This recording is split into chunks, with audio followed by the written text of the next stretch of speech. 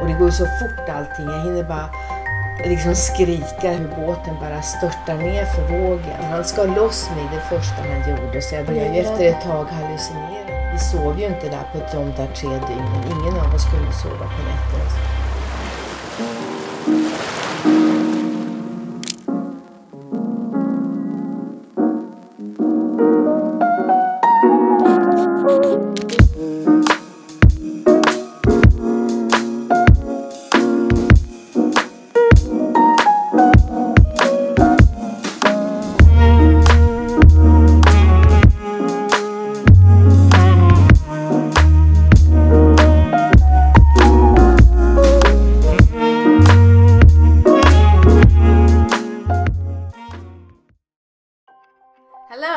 Stephanie and I'm out long distance cruising together with my husband and our son. Hello.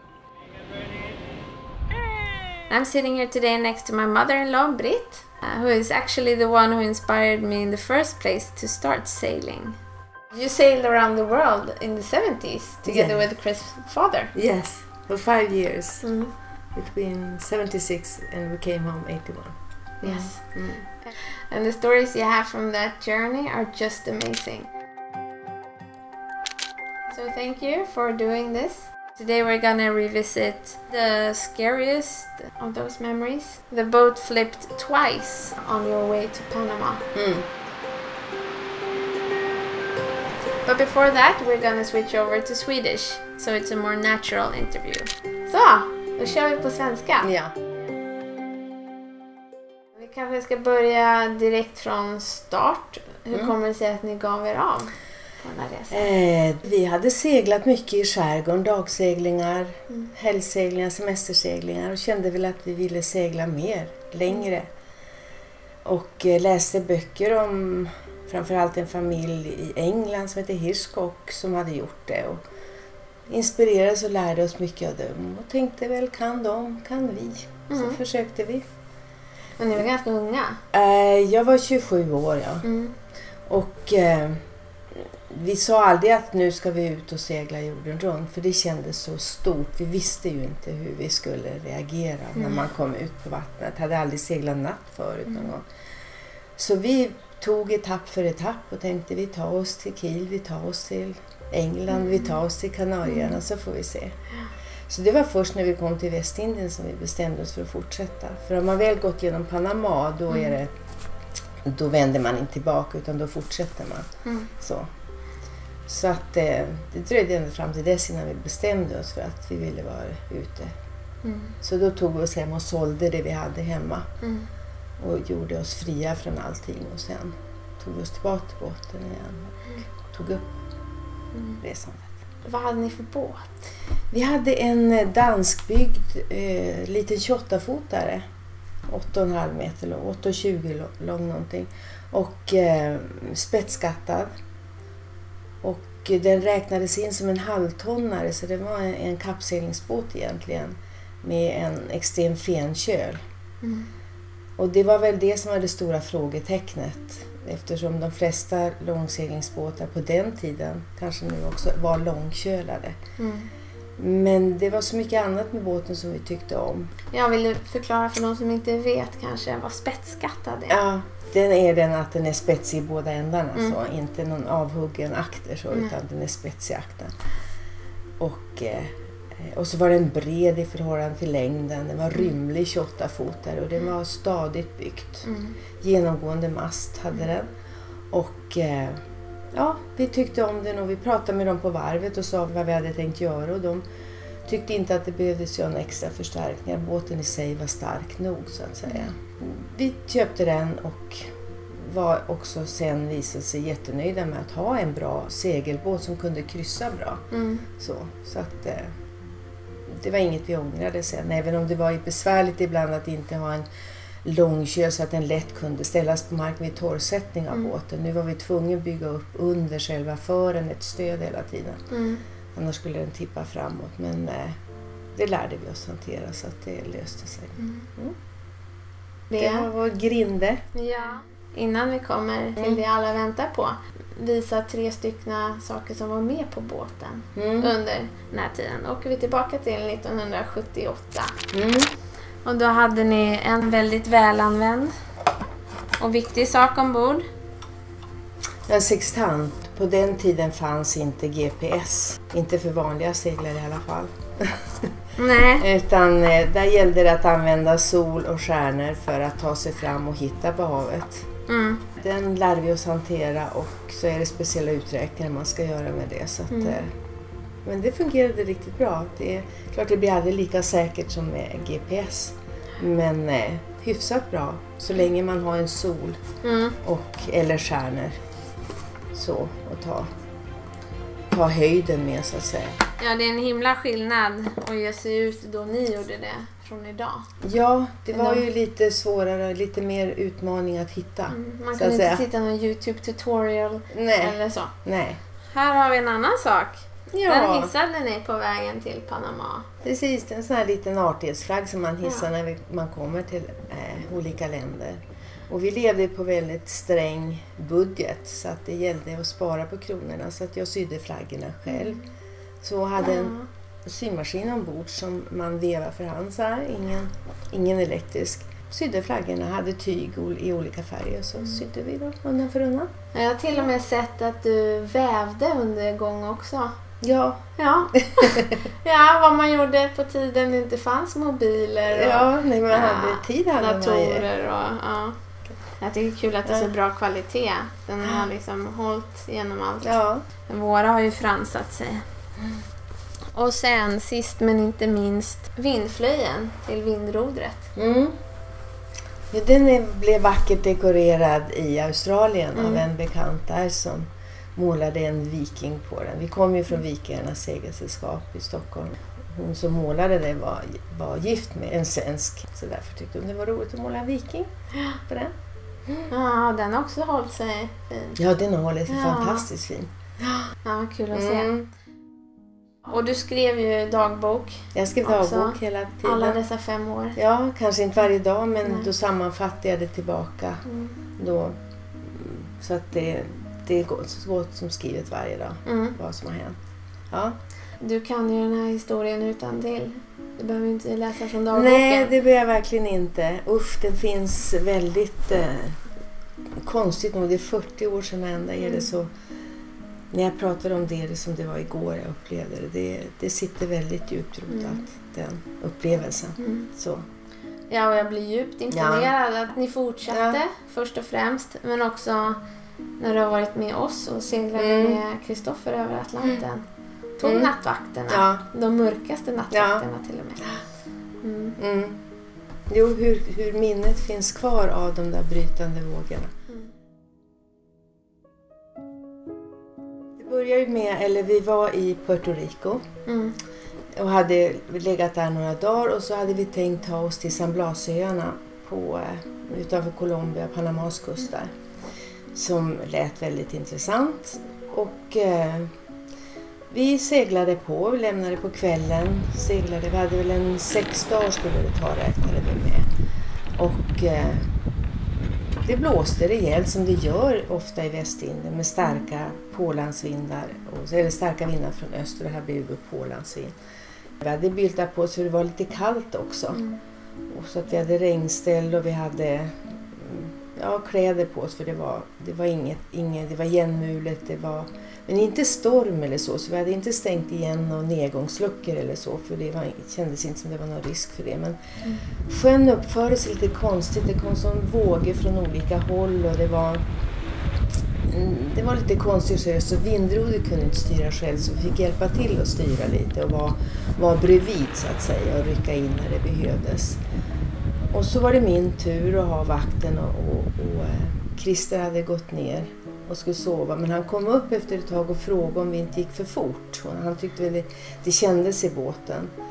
Men jag tyckte att han behövde ju sova lite så jag sa det är lugnt, det, det här går bra, det är lugnt. Alltså jag stod där och hjälpte till med vindrodret när det behövdes. Stod på aktertoften liksom och hade koll på läget. Och så gick han ner och sen eh, inte långt efter det så hörde jag det här fruktansvärda dånet.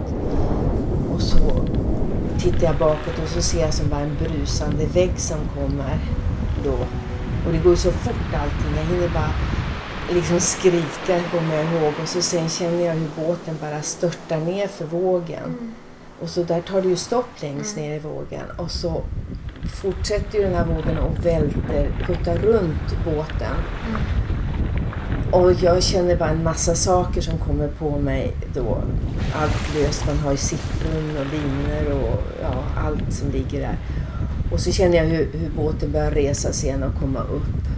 Och då sitter jag fast runt vindrodret. Alltså Men också med sele. Ja, men Mm. selen, men det, selen gör ju inte att jag sitter fast Nej. så, utan det, då är man bara fast i båten. Mm. Men nu var jag ju fast, jag kunde inte röra mig med linor och håret hade fastnat eh, i, hade långt hår på den tiden och det satt fast. Och, så, och Christer som hade då vaknat när det här hände nere i båten vaknade då av att det störtade in vatten i båten. Så han hade ju kämpat för att komma ut mot det Mm. där.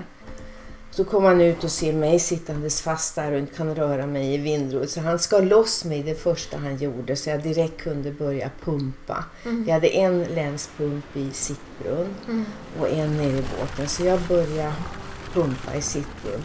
Och så tog, gav jag mitt livsele till eh, Christer så han kunde gå fram på fördäck och tog ner seglet som var uppe. Och, eh, och sen gick han ner och pumpade igen då i, i, eh, i båten. Och till saken hör med skällensarna i, inne i båten så är det mycket papper i, i en båt med både hushållspapper och sjökort och böcker och ja, och det satt ju igen källänsen där nere så att Christer fick ju kämpa att hålla den tom eh, från papper samtidigt som han kunde pumpa. Och jag pumpade då i sittbrunn. Och så nu låg ju båten bara lealös längs med vågorna så här och rörde sig väldigt obekvämt. Och så kom en stor våg till. Och då snurrade vi runt i tvärskeppsriktningen. Så. Och då kastades jag från båten, för då hade jag inget livsele, så jag kastades från båten. Och kom en bit ifrån, inte så långt där, skulle jag, jag är dålig simmare så då skulle jag inte kunna ta mig ombord. Men en bit ifrån så passade att jag såg att nu är det bråttom att ta sig ombord om jag ska hinna ta ett Mm. kort innan de sjunker, vilket var min drivkraft som gjorde att jag snabbt tog mig ombord. Men för då var hon bara liksom så här i frivården Mm. och verkligen på väg att funka. Så jag ombord i, igen och pumpa. Mm. Och pumpa och pumpa och pumpa. Ena armen, andra armen, ena armen, andra armen. Och Christer pumpar där nere och kämpar på. Och så höll vi på en, två, tre, fyra timmar. Det är svårt att säga. Inget grepp om tiden. Vet bara att det här hände ju på morgon. Och på kvällen när det började skymma så märkte vi att eh, båten flöt. Mm. Tog inte in vatten. Mm. Och då hade vi konstaterat redan att masten stod kvar, Ja. vilket var förvånande. Alla stag var hela. Mm. Eh, vad som hade hänt var att sådana här Dodger, sprayhot och Dodgers var bortslitna och borta. Mm. Och hade blivit liksom böjt av, av vattnet och mantåg var intryckta. Mm, ja, du tog Mm. en bild eller Ja, två. jag försökte. Mm. Christers kamera var ju, var ju försvunnen i röran och, eh, och sen visade det sig att den var förstörd av vattnet. Mm. Men min var liten och hade legat som i ett fodral så den hittade jag och där kunde jag ta några kort. Det var Mm. väl inte världens bästa kvalitet men det blev några kort Mm. i alla fall. Av hur det såg ut. Och nu var ju liksom spray borta, Dodgers borta. Man kände sig så fruktansvärt naken och liten Mm. i den där båten. Så det, trots allt kändes det ändå som ett skydd. Mm. Och det, sen då kom ju rädslan också efter eh, ja, på kvällen där och så tänkte jag gud en natt och så en i sittbrunn och så vi, vi hade, nu vågar vi inte ha sittbrunnsluckorna öppna för att om det skulle komma en till Mm. överbrytande så att vi hade allting stängt och det här gjorde ju att det började ju lukta väldigt fort. Mm. Det blev ju, började mögla och det började lukta förfärligt Mm. av allt, och alla fukt textiler mm. och papper och mat och allt som hade eh, bara en salig röra där nere. Ja, lite ljusgult vatten. Ja, du precis. ihåg, Det. det skvalpar. Ja, det skvalpade ju runt där nere och det var ju... Jo, men tänker ägg som hade gått, sö- det var ju Mm. gått sönder och matolja. Ja, det var mycket sånt där som hade kommit ut. Så det luktade. Och värre och värre blev det ju. Och vi, jag vågade inte vara ensam i, sittbrunn på natten. Mm. Utan Christer tog ut lite, eh, lite konserver och sardiner eller något som vi kunde äta på under natten. Men ingen av oss kunde direkt äta. Vi var ju båda i chock vad som hade hänt. Mm. Och ville ju bara komma i hamn och sätta båten på första bästa fraktbåt hem. Det här var ju inget kul alltså. Det här, Mm. det här var hemskt. Så att... Eh, Men Ja. eh, det var ju inte bara masten som klarade sig. Ja, det var ju mycket som klarade sig. Men också jag är fascinerad över att motorn också. ja, precis. För då kunde vi också där på, på när, när båten var tömd starta motorn och märkte att Mm. den gick. Mm. Och det gjorde, gjorde ju att det var, då kunde man styra och hålla upp eh, akten Mm. mot, så samtidigt som man pumpade så kunde man styra och hålla upp akten mot vågorna så att hon inte slog runt igen. Och så, eh, ja det var förvånansvärt att den startade. Mm. Och eh, en spinackelbond var böjd och trasig. Men eh, nej, det var, det var väl det vi förstod sen när vi kom till Balboa Yacht Club så småningom att vi hade en stark liten båt. Mm. Och alla tyckte det var enormt vad bra hon hade klarat sig. Så då sträckte man ju på sig och båten sträckte på sig. Och så Mm. tänkte man att ja, har den klarat det så då klarar den ju allting. Det är väl ungefär det värsta som kan hända för en båt. Mm. Så då, efter några veckor där så började vi väl tänka annat. Och så bestämde vi oss för att gå vidare och fortsätta ut i Pacific i alla fall. Mm. Trots allt så. Helt otroligt. Men eh, de, här, de här nätterna på väg till, vi hade ju tre dygn kvar till, Mm. till Balboa eller till Panama. Mm. Och vi hade ju ingen koll på läget. eh, På, eh, ja, vi, hade ju, vi kunde ju inte ta någon solhöjd. Det var ju eh, papper blött och tidtagarur skulle man då hitta. Mm. Och, ja, så att vi gick ju, höftade ju till på ett ungefär var vi var. Mm. Låglinan var ju bara en stor knut. Mm. Så att eh, vi höftade till och styrde lite på måfå där. Och sen eh, så småningom såg vi ju fartyg på horisonten och antog att de var på väg mot Panama. Mm. Så vi styrde oss åt samma håll som dem. Mm. Så.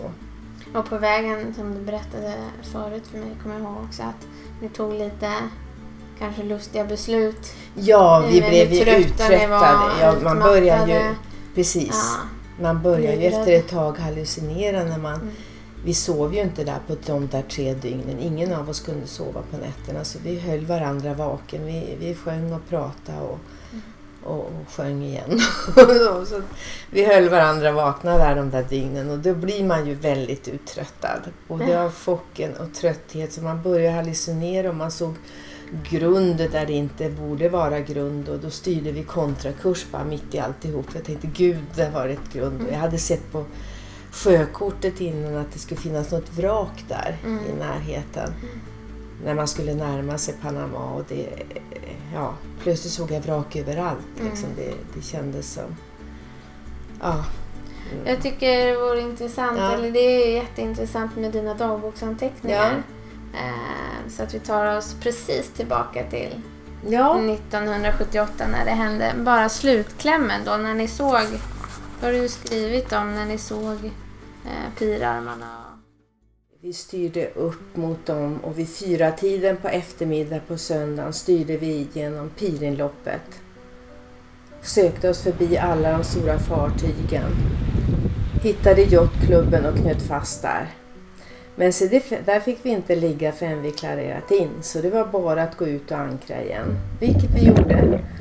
Och efter några försök satt vi fast. Tog en stor whisky och trodde eh, tullen skulle komma. Men den syntes inte till. Vi tog en whisky till och så grät jag mycket och länge. Och medan jag sov i stickkojen lagade Christer mat. Vi åt corned beef och potatis. Och sen sov vi i stickkojen. Jag oroligt och var ofta ute under natten för att se om vi draggade. Mm. Alltid är det något att oroa sig för. Ja. Och det är ju så det är Ja. på båt. Det där, ja. Ja. Som jag upplever det. Mm. Mm. Jo, det där Ja. tror jag många känner Ja. igen sig i. Sen finns Sen- det ju nivåer. Ja, precis. Det, det gör det. Ja. Mm. Men eh, då var vi i alla fall framme Mm. och sen började då ett gediget jobb att ta hand om eländet. Och allt, allt papper var ju tvungen att tvättas i T-sprit för att få bort mögelsvampar och vi hade ju hur mycket papperssökort som helst. Mm. Så, så Ja, allt- jag har sett skulle- dem. Det är en rejäl det är bunt. många buntar.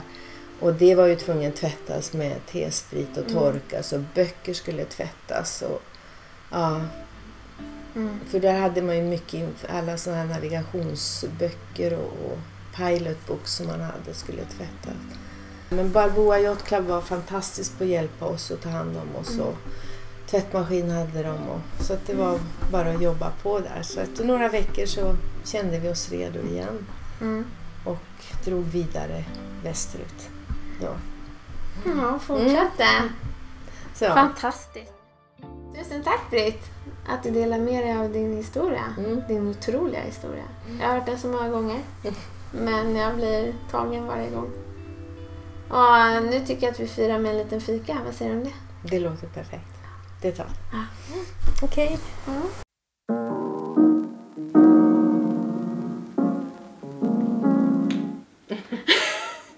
Hello! Ja. Hello!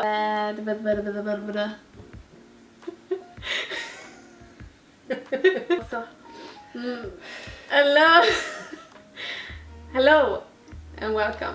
I'm Stephanie and I'm out long distance sailing together with my husband and our Börjar vi bli trötta? Ja, nej, nej, inte jag. Vi. Vad fint att du tar på dig. ja, um, you sailed around the world in the 70s.